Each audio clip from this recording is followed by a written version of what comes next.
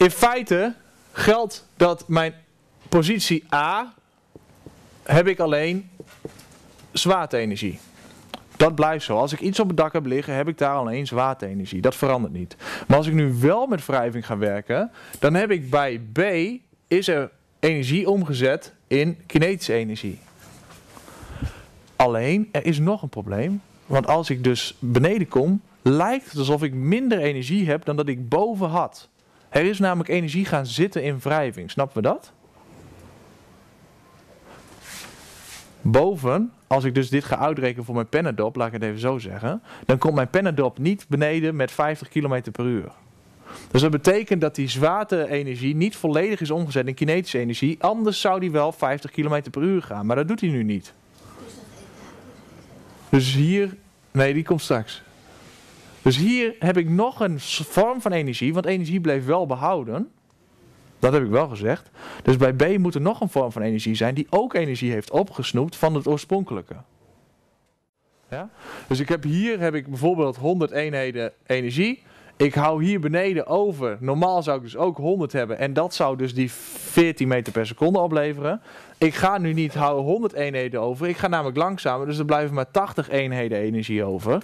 En dat betekent dus dat er nog ergens energie is kwijtgeraakt. En die energie is dus gaan zitten in de wrijving. Wrijving remt mij af.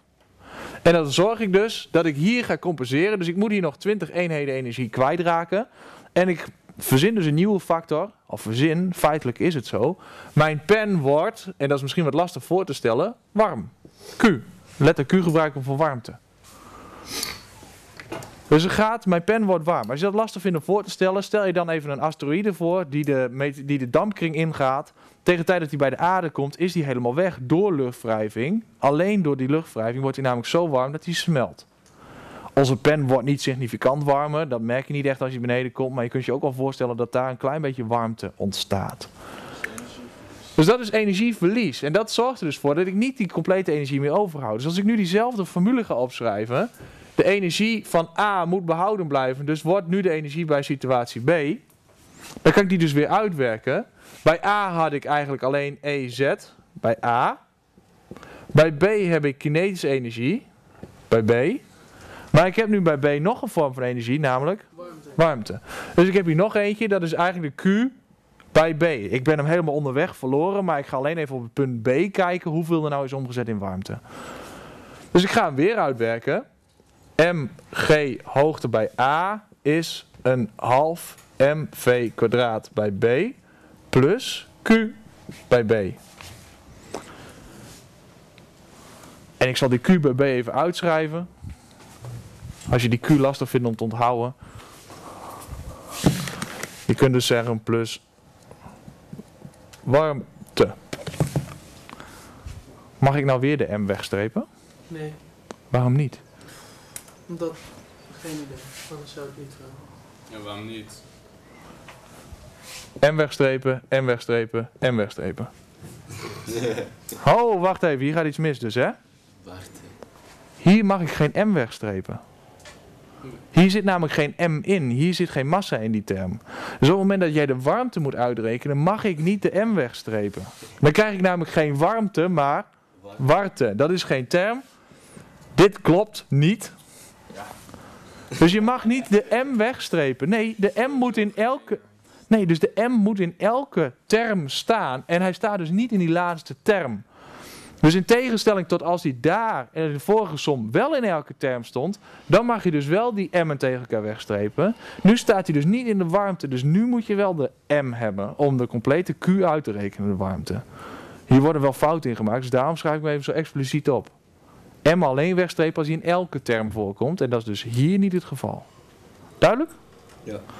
Dus zo gaat er dingen worden omgezet in warmte. Ik heb nu eigenlijk energie omgezet. Dus ik had zwaarte-energie bovenin en dat heb ik omgezet in bewegingsenergie. Uiteindelijk ook met warmte, maar het gaat me even om dat ik dus energie kan omzetten van de ene vorm naar de andere vorm. Kunnen jullie een voorbeeld verzinnen dat ik kinetische energie omzet in zwaarte-energie? Dus de andersom variant. Ja. Een achtbaan doet in feite dit. Overdreven. En dit zou je dus ook als een skateboard halfpipe kunnen zien. Ik heb hier dus hoogte-energie. Dit noem ik even punt A. En daar heb ik dus alleen zwaarte-energie, hoogte-energie mee eens? Ja. Dat wordt hier onderin omgezet. Hier heb ik in punt B geen hoogte-energie meer. Alleen nog kinetische. Alleen nog kinetische. En vervolgens, als ik dus door zou rollen met mijn skateboard, dan zou ik weer hier bovenin uit kunnen komen. Punt C. En wat heb ik nou weer? Zwaarte-energie. Zwaartenergie. Heb ik nog kinetische energie? Nee, Waarom niet? omdat je daar bovenaan stilstaat. Oh, je staat hier bovenaan stil. Dus ik heb hier nu weer zwaartenergie. Dus ik kan hier mijn kinetische energie omzetten in zwaartenergie. Door gewoon naar boven te rollen. Dus die andere variant werkt ook. De formule is natuurlijk hetzelfde. En zo kan ik hem uitrekenen. Als ik nou... Mijn energie bij A moet gelijk zijn aan mijn energie bij B. Waarom? Energie blijft behouden. Dus als de energie die ik in A heb, inderdaad, blijft behouden bij B.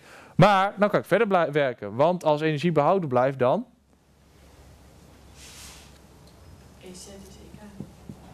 Dit is ook de energie bij C.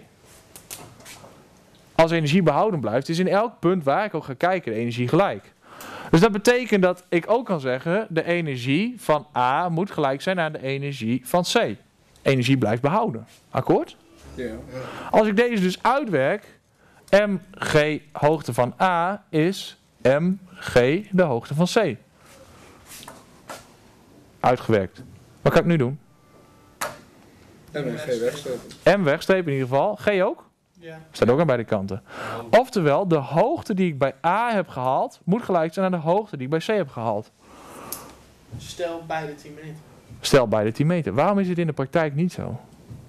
Want dit zou dus betekenen dat als ik in een halfpipe erin duik, dat ik evenveel hoog kom. Weerstand. Weerstand. Welke vergeet ik nu namelijk? Eh Wrijving van die de grond. Q. Bij C heb ik hier over dit hele traject warmte verloren. En dat betekent dus dat ik bij C niet zo hoog zou komen als dat ik zou willen. Namelijk als er geen wrijving zou zijn, zou ik even hoog kunnen komen bij C. En dat is dus in het echt niet het geval. Maakt niet uit. Nee, sterker nog, ik kan eh, zo'n baan doen. Dan kom ik even snel beneden als dat ik zo'n baan heb. Het duurt langer bij deze. Ja, dat is ook niet even snel. Maar ik ben, hier heb ik dezelfde snelheid. Dus het duurt langer, want ik heb hier een stukje waar ik snel ga, hier een stukje waar ik langzaam ga, hier ga ik in één keer naar beneden. Dus deze is inderdaad langer onderweg. Maar uiteindelijk heb ik dezelfde snelheid beneden, want ik heb evenveel energie. Gaat, toch harder dan een achtbaan die schuin naar beneden gaat. Waarom? Omdat je gewoon Rolweerstand. recht naar beneden. Dat bedoel ik. Hier met rolweerstand, omdat je hier langer onderweg bent, heb je meer baancontact gehad en heb je dus inderdaad meer rolweerstand gehad en hou je hier beneden minder snelheid over. Dus jouw Q, jouw letter Q, de- wat er in Q is gaan zitten, is bij deze weg groter dan bij die weg. En dus heb je inderdaad meer energie over voor kinetische energie. Bij de schuim dan drukt de zwaartekracht de wielen op de baan. En je recht naar beneden niet. Maar als er dus geen wrijving zou zijn, zou je even snel gaan beneden. En dat is dus gek, want dat zijn we niet gewend. Oké.